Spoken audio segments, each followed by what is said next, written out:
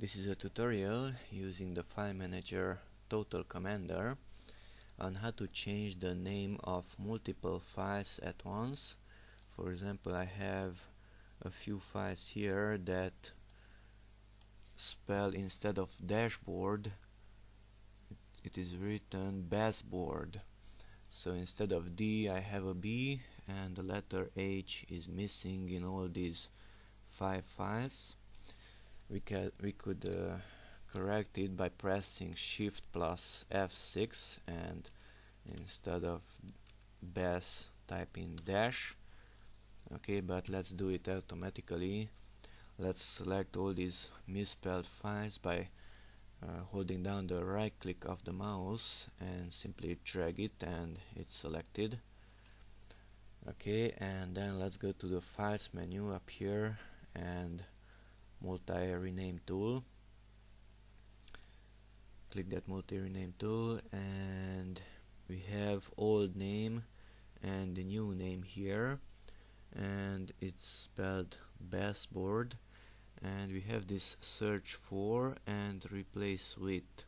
So let's search for that baseboard and it will be automatically cleared because at replace with we don't have anything.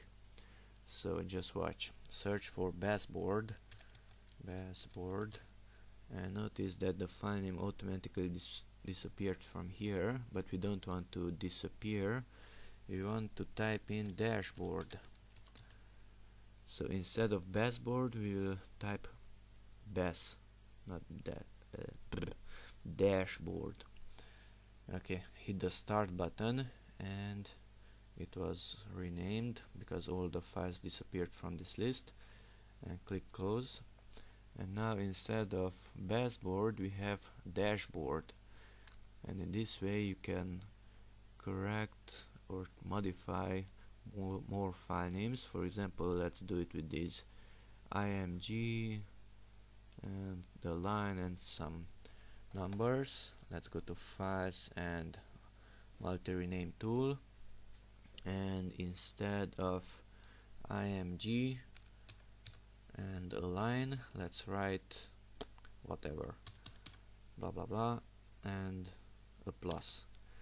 Okay and click start and close.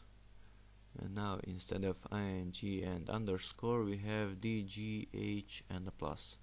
So we just renamed the multiple files at once you can use this tool even to get out one letter multi-rename tool. For example instead of the plus let's type in nothing.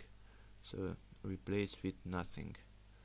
Start and the plus disappeared only okay that's the multi-rename tool in total commander.